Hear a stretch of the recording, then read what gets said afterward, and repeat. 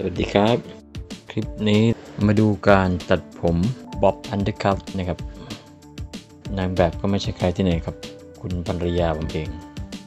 อันดับแรกก็ต้องแบ่งผมนะครับ แบ่งจากจุดหางคิ้วนะครับ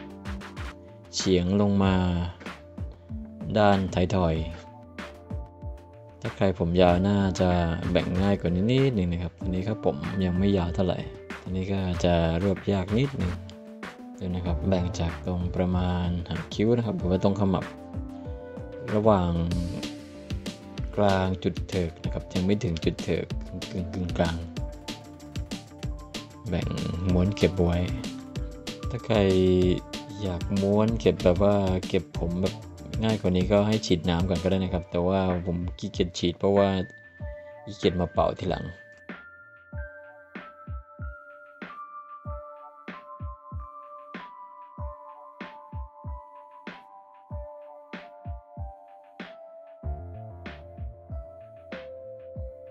เสร็จแล้วก็เรามาตัดด้านล่างกันครับ ตัดด้านล่างด้วยขึ้นทรงด้วยฟันรองเบอร์สองนะครับ หรือถ้าใครต้องการที่มันเกลี้ยงๆเลยก็สามารถขึ้นเบอร์หนึ่งเลยก็ได้นะครับ ไม่มีปัญหา แต่ที่ผมขึ้นเบอร์สองเพราะว่าเอาไว้สอยปลายผมออก มันสอยได้ง่ายกว่า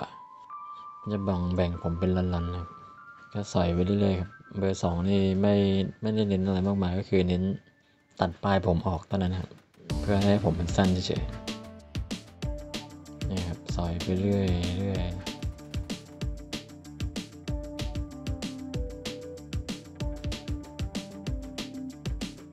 ดียวนะครับ อันนี้แบ่งผมไม่ค่อยตรงเท่าไหร่ ถ้าใครฝีมือแล้วเป็นแล้วก็ไม่ต้องดูก็ได้นะครับ อันนี้ก็สำหรับผู้ที่เริ่มต้นเหมือนกันเอาเป็นแนวทางครับ น่าจะมีคนที่ตัดดีแล้วก็สวยกว่าผมเยอะอยู่ตอนนี้ก็เล็มลงไปเรื่อยๆครับ เล็มใช้พยายามใช้มุมของแบตเตอรี่นะครับ เอียงๆ เพราะว่าถ้าตัดเสยไปเลย อาจจะแทงขึ้นไปโดนตีนผมด้านบนได้ พยายามเอียงๆใช้มุมใดมุมหนึ่งดูครับ เอียงเอียงแล้วตอนนี้เก็บนะครับ เก็บแค่เล็มๆนิดหน่อยนะครับ เพราะว่ามันเห็นกรอบ เพราะว่ามันเห็นในลายผมทรงผม เพราะว่าตัวนี้เราจะไม่ได้เน้นให้มันเป็นทรงมาก อันนี้ครับก็ไล่ลงมาเรื่อยๆตัวนี้เบอร์หนึ่งครึ่งนะครับ จะถนัดในการไล่ลงไปเรื่อยๆ แต่ถ้าใครที่ฝีมือแล้วก็อาจจะใช้เบอร์หนึ่งไปเลยก็ได้นะครับ ตัดเนียน สังเกตนะครับผมจะเอียงแบตเตอรี่ยนใช้มุมแบตเตอรี่ยนข้างใดข้างหนึ่งครับ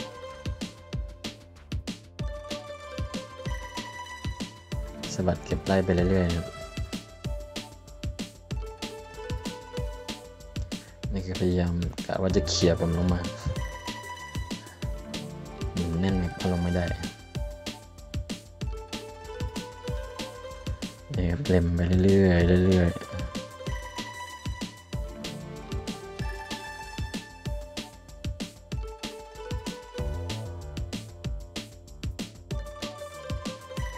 ได้ที่นะครับแล้วเราก็จะ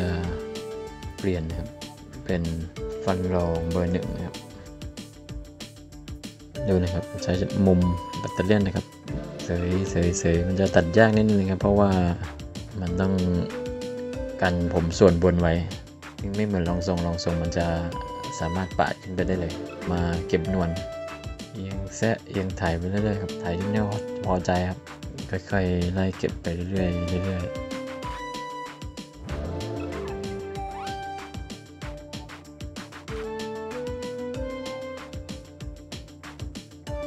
ตรงขมับเนี่ยต้องระวังนิดนึงนะครับอาจจะเลยได้ ใช้มือดึงหนังให้มันตึงนะครับ แล้วก็ใช้มุมแบตเตอรี่ยนเกี่ยเข้าไปทีละหน่อยทีละหน่อยเก็บ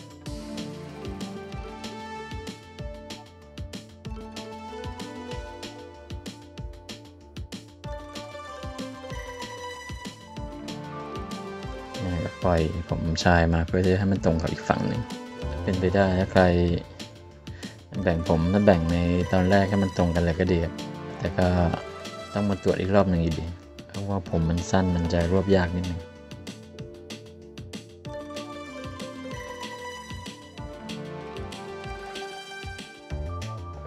ตัดได้นอนครับเต็มไปเรื่อยๆเรื่อยๆเรื่อยๆเอาจนคิดว่ามันโอเคแล้วครับนะครับสังเกตที่มุมแบตเตอรี่ยนนะครับจะไม่ได้ใช้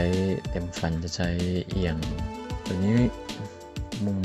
ตัดมุมด้านซ้ายก็เอียงด้านซ้ายนะครับ ใช้มุมแบตเตอรี่ยนด้านซ้ายเอียงเข้ามา ใช้มือหรือวีกดไว้ก็ได้นะครับ แล้วแต่ดวเพื่อกันไม่ให้โดนผมด้านบน คิดว่าสวยแล้วแล้วก็มากันนะครับ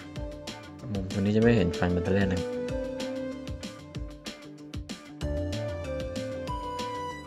อ่าโอเคมุมนี้มองเห็นจิกทาบลงมาเรื่อยๆนะครับ วางมือเบาๆ เพราะว่ากันขอบโดยมากจะแต่งฟันกันมาแล้วครับมันจะคมมาก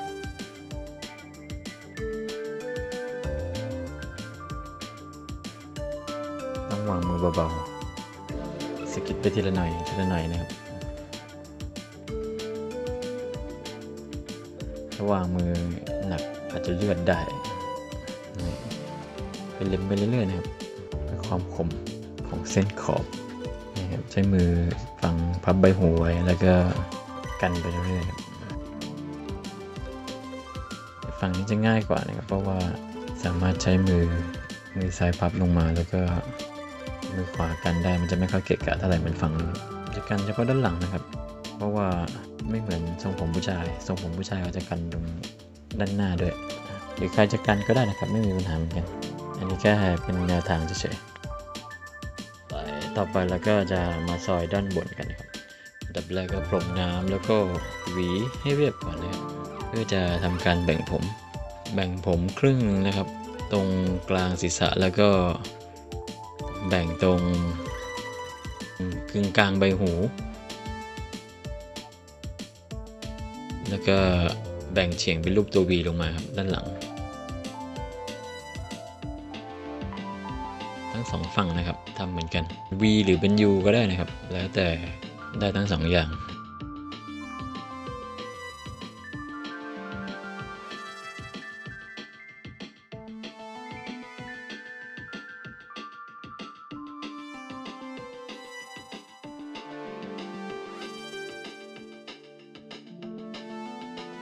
เสร็จแล้วก็พรมน้ำนะครับ ปกติถ้าเป็นบ๊อบเทธรรมดาต้องแบ่งลงมาอีก ต่ำลงมาอีกนิดนึงนะครับ แต่ว่าตอนนี้เราก็คือผมด้านในมันไม่มีแล้ว เพราะว่าเราตัดช่อ1 2 3ไปหมดละอันนี้ก็เหมือนขึ้นช่อที่ 4 เลยครับ รวบตึงมาตัดตรงกึ่งกลางก่อนนะครับ แล้วก็ ดึงหวีรวบตึงเอียงมือเป็น 45 องศานะครับ เฉียงเป็น V V คว่ำนะครับ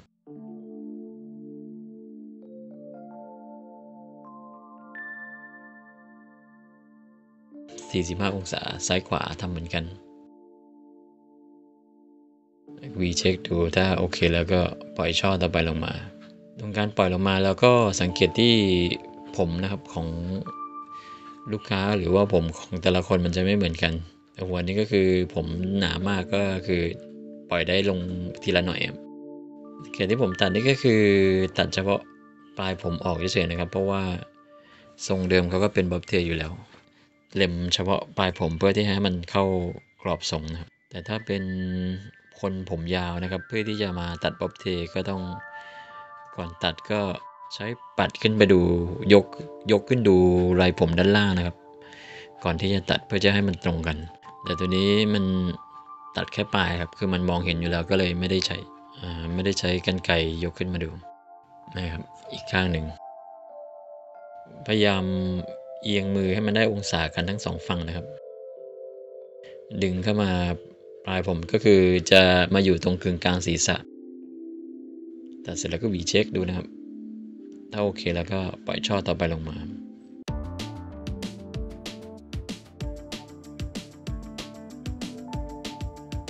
ผมน้ำครับทำครับแล้วก็หวีดึงสังเกตดูครับ ปลายผมก็จะไม่ได้เกินมากครับ นิดๆหน่อยๆ คือเก็บไปเฉพาะส่วนที่มันเกิน ทั้งสองฝั่งนะครับ ซ้ายขวาเก็บเหมือนกันรูดลงมา ตัวที่มันหลุดก็หลุดไปนะครับ ไม่ต้องไปสนใจก็คือถ้าหลุดก็แสดงว่ามันมันสั้นไปแล้ว เราเน้นที่องศา ตัดไปหวีเช็คไปครับป้ายผม เคแล้วก็ปล่อยช่อต่อไปลงมานะครับผมแต่ละคนจะแตกต่างกันไปนะครับ บางคนโดนน้ำแล้วก็จะทิ้งตัวแต่สำหรับวันนี้โดนน้ำแล้วผมก็จะสปริงนะครับ จะออกคอดคอดๆเล็กน้อย ตัดต้องเปลือกความยาวมากขึ้นด้วยนิดหนึ่งเพื่อมันหดกับเช็คปลายเล็มนิดหน่อยโอเคได้แล้วปล่อยช่อต่อไปลงมา ถ้าผมบางก็สามารถปล่อยลงมาหมดได้เลยนะครับ แต่เผอิญผมเขาหนามากก็เลยต้อง ลงมาทีประมาณประมาณเซนหนึ่งครับช่อละเซนละเซนผมบางก็ปล่อยมาทีละนิ้วแล้วก็ได้ครับ หรือว่าปล่อยมาหมดเลยก็ได้ แล้วก็จะพรมน้ำไปเรื่อยครับพรมน้ำแล้วก็ตัดไปเรื่อยๆทีละช่อทีละช่อแบบนี้ครับดูนะครับช่อกลางดึงมาเสร็จแล้วก็ตัดตรงกลางก่อน แล้วก็กวาดมุมด้านข้าง ดึงมาตัด 45 องศาครับเหมือนกันครับ ดึงมาให้เนี่ย อย่าให้เกินกึ่งกลางศีรษะครับ เน้นกึ่งกึ่งกลางศีรษะเป็นเป็นเกณฑ์ทั้งซ้ายและขวานะครับ ดึงจากซ้ายครับมาถึงกึ่งกลางศีรษะ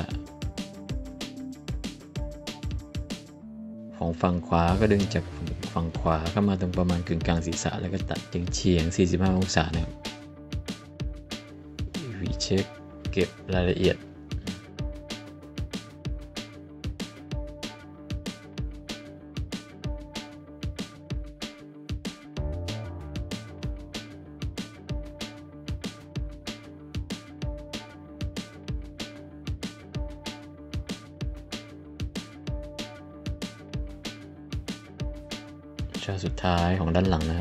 เราก็จะทำแบบเดียวกันครับไปลงมาแล้วก็หวีพรมน้ำแล้วก็หวีเช็คสังเกตนะครับดูเวลาผมเขาโดนน้ำก็จะดิดดิดดึงเรื่องเหลือเผื่อไว้ด้วยนะครับ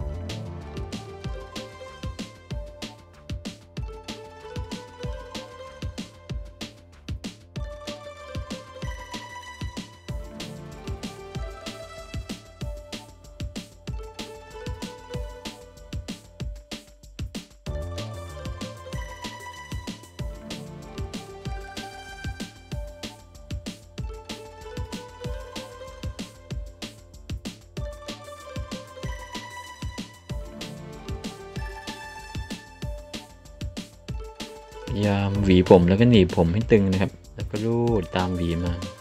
เอียงองศาให้มันได้ครับ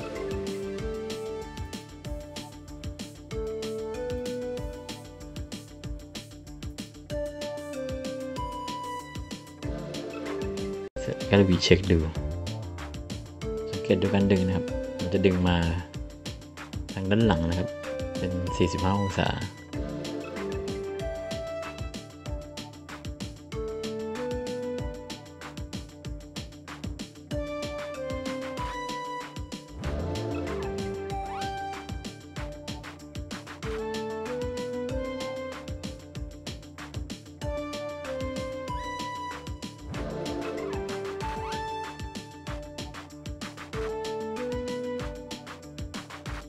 เคมาช่อหน้ากัน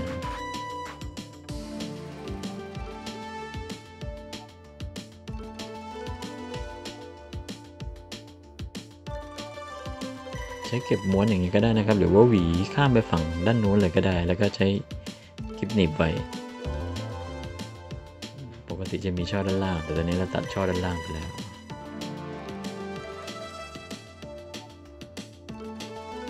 45 องศา แล้วก็ตัดเชื่อมกัน เราจะหวีตัวข้างหลังใบหูไว้ด้วยนะครับนี่หนึ่งเพื่อที่จะเป็นไกด์มันจะได้เชื่อมกัน ดึงออกมาเป็น 45 องศา แล้วก็ตัดปลายมัน ถ้าเป็นบ๊อบธรรมดาก็สามารถตัดตรงได้เลยนะครับ แต่นี้ก็คือเราจะตัดออกเทก็เลยต้องเอียงออกมาเป็น 45 องศา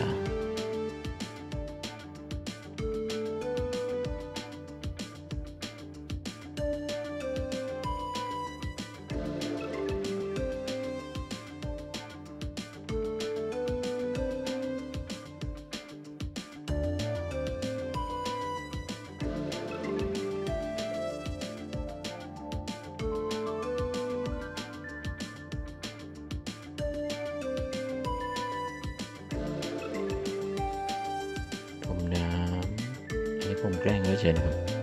ถ้าเป็นลูกค้าจริงทำอย่างนี้ไม่ได้นะครับ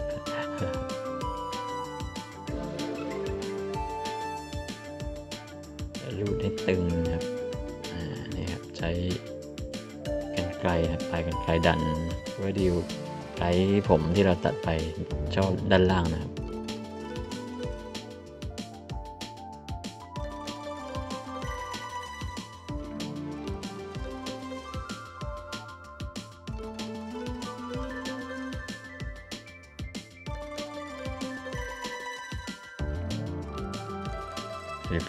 ยบร้อยด้านนี้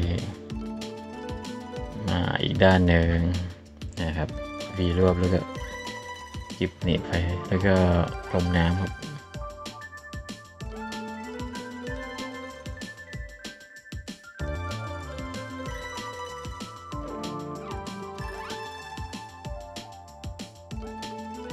เห็นไหมครับจะดึงตรงช่อด้านหลังมาเป็นไกด์นิดหนึ่งนะครับเอียงลักษณะเดียวกันครับเพื่อให้เชื่อมกันฝั่ง อียงน้อยเอียงมากนี่แล้วแต่นะครับ แล้วแต่ความเหมาะสมของแต่ละคนบางคนอาจจะเอียงน้อยกว่านี้วีเช็คมันไปเรื่อยๆนะครับตรงไหนที่มันเกินมาแล้วก็ใส่ออกอ่าทีนี้วีเช็คอีกรอบหนึ่งตัดผมหญิงต้องใช้เวลานะครับ จะไม่เหมือนผมชายที่ซอยจับจับจับจับจับแบบคือไม่มีไม่กี่องศา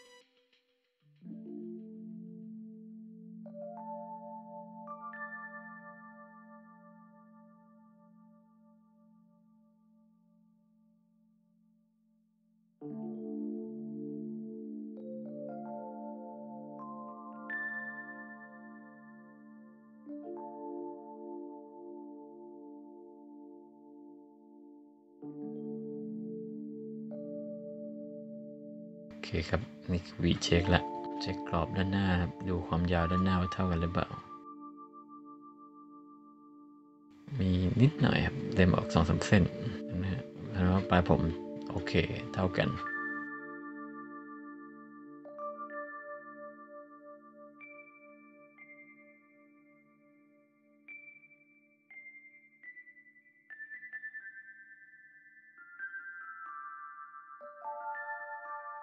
นี่ก็มาดูสระครับ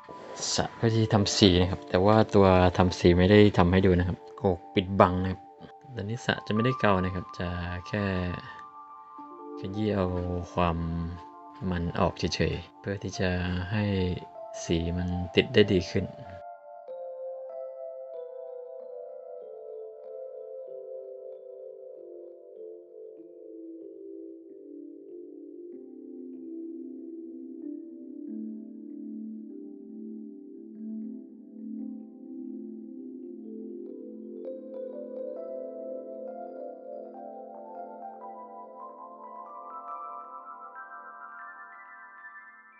เช็ดรวบเก็บผ้าครับรวบผม โอเค ไปเป่าเสียดายนะครับไฟล์มันตอนเก็บเช็คไฟล์ผมเป่าเสร็จแล้วต้องเช็ครอบหนึ่งนะครับ ไฟล์มันเสียครับ ก็เลยไม่ได้เห็น ตอนนี้ก็คือมาดูการเก็บสุดขั้นตอนสุดท้ายเลยก็คือ เก็บลายผมลูกผมหลังจากที่เป่าเสร็จทำเสร็จแล้วนะครับ การเก็บลายผมก็คือการเป่าแห้งเสร็จแล้วนะครับ เป่าแห้งเสร็จแล้วก็หวีเช็คทรงมัน ถ้าตัวไหนมันเกินมาแล้วก็ใช้แบตเตอรี่ตัวเล็กเล็มออกครับ หรือว่าใช้ปลายกันไกรสอยออกก็ได้นิดหน่อยแต่ว่าตัวนี้ก็คือไม่ได้ไม่ได้เกินมากผิดมาแล้วเป่ามาแล้วก็เก็บเฉพาะตัดเฉพาะมันที่มันเลยมานิดๆหน่อยๆครับ แล้วก็เสร็จเรียบร้อยแล้วเรามาดูส่งกัน ก็จะได้ประมาณนี้ครับ ขอบคุณที่รับชมนะครับ ถ้าชอบก็ฝากกดไลค์กดแชร์กดติดตามให้ด้วยนะครับ ขอบคุณครับ สวัสดีครับ